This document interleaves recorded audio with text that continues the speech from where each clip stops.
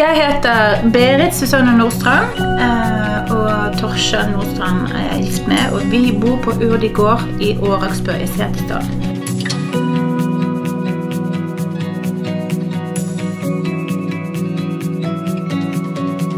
har nå begynt å kjøre et konsept som heter Time of Setesdal.